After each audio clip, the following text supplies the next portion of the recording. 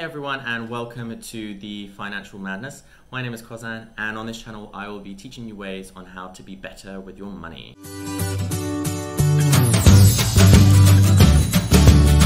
So for this first episode we're going to be talking about budgeting. Um, now budgeting really is the foundation for anything personal finance. So um, as boring or as scary as this may sound, we really do need it.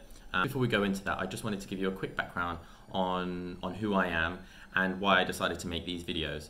Um, so I'm 27 years old and I live in London. And about two and a bit years ago, uh, me and my brother had an idea um, to make a bit of side money to buy a house and then rent it out to people. Um, we watched Homes on the Hammer and then we thought, oh, we can do that. Um, turns out we couldn't.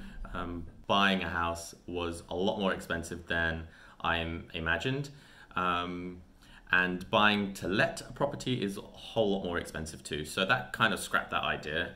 Um, and then I was sort of in a in a pit where I was like, okay, but then how do people do this? How do people buy houses? How do people have a family? How do people pay for a wedding or, or go on loads of holidays or pay for an education?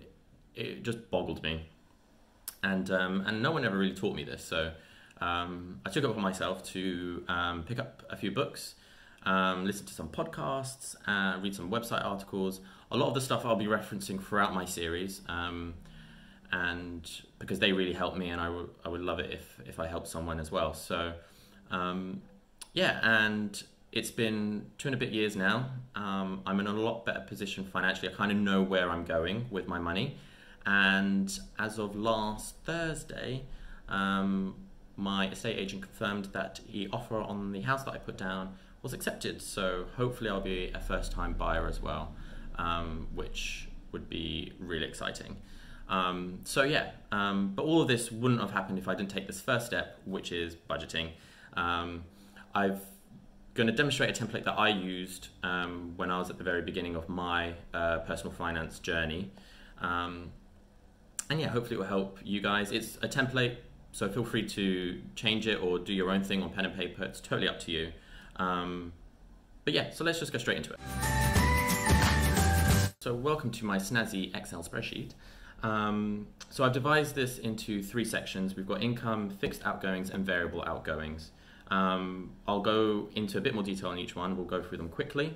Um, and before you guys start on this, um, it's really important that we be specific with the amount of money um, particularly on bills. Um, it might be hard when you're working out averages because obviously, um, if we're taking into account how much we spend on food, um, it can vary month to month. Um, but just sort of take a, a, rough estimate. But do go through, but do validate those estimates through your bank statements or, or, or anything else like that, um, because if you're doing wild guesses on bills, particularly if you round them up, round them down, those little pennies or pounds do make a difference. So for the first bit is the income.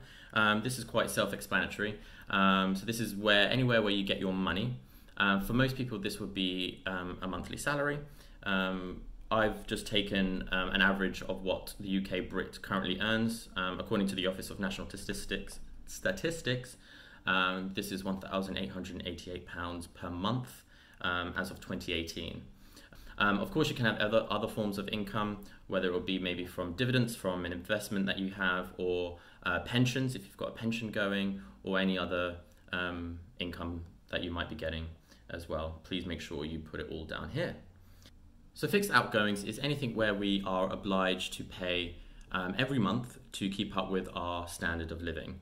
Um, so this will include things like rent or mortgage, travel, um, gas and electric, water bills, etc., etc. So I'm just going to quickly go through um, my current situation so you kind of have a feel of, of how this spreadsheet works. So um, my spread, uh, my rent is 575 per month, uh, which isn't bad for London. Um, my travel for a zone 1 to 3 I think is 162 pounds and 90. Uh, gas and electric bills is 27 24.71 sorry. Uh, water is just ten pounds. Um, internet is eight pounds fifteen. With council tax thirty eight sixty seven. I don't actually pay home insurance. Maybe I should, but I'm only renting, so uh, that's fine. Uh, car insurance I pay off a year, but that kind of roughly works out to twenty. Sorry, thirty eight pounds per month. Uh, phone contract I pay ten pounds a month. Uh, groceries. So this is where you have to do an average. So I roughly spend around 20, 250 to 300 a month. So I'll just meet somewhere in the middle. So 275. Gym membership, I don't go. um, and then you know, we have space for, for any other outgoings that um, might be applicable. I try to put in sort of general examples that I think most of us will accommodate to, but obviously please feel free to change. So as you can see um, at the bottom here, it already tallies up how much we're spending um, on our fixed outgoings, and this comes to £1,142 and 43 pence. Quite a lot of percentage of our income is going on, on our fixed necessities. Um, so now we move on to the variable outgoings. Um, so these where this is where I say you kind of need to work on an average because one one month you might go to a restaurant more often because you might have several birthdays. Um, that's October for me, October and November. Um, um, whereas other res- uh, well, other months when maybe it's a bit colder, you probably just stay home a bit more. So try and just average it out. Do your best. Um, so for a restaurant, I probably work probably works out to be maybe thirty five pounds a month. Um, work lunch, I actually know this because um, so I spend around about eight pounds a day on work lunch. So five times a week is forty. So that's uh, 160 pounds. Theatre, big theatre goer me. So probably go about 40 pounds. Um, shopping, I don't really do shopping that much, so I'll put maybe 20 pounds a month. Going out, out, I'm quite a cheapskate, so um, loads of pre-drinking for me at Tesco's. Um, well, alcohol from Tesco's. Um, and then holidays probably works out to be £30 a month. Um, so on my variable outgoings, I'm roughly spending around about £315, um, which again makes up 17% um, of my income. So on the right hand side, it kind of tallies up everything quite nicely for you. Um, so every month I earn £1,888, um, which is the total of my income. Um, I have to pay my my fixed outgoings, which is one thousand one hundred forty-two pounds and forty-three pence, and I choose to pay three hundred and fifteen pounds on my variable outgoings. Um, all in all, every month, with my once I pay off everything, I tend to have four hundred and thirty pounds and fifty-seven pence left over. So this gives you a good indication of how much you're getting and where your money is going. Um, so if you are in the red, um, obviously, this should be of major concern to you. We should always try to strive to be in the green or on zero. Um, I know it's not easy in certain cases, but we do really, it's just not sustainable really to be in red, and, and you will find yourself getting into massive financial um, issues later down the line. But we'll go into debt in a bit more detail in a further episode. Um, but the good thing with this spreadsheet is it really highlights to you how much portion of your money is going where. So in this case, I can see 61% is actually going to my fixed outgoings. But if I look closely into the itemized list, I can see 30% of it is going on my rent.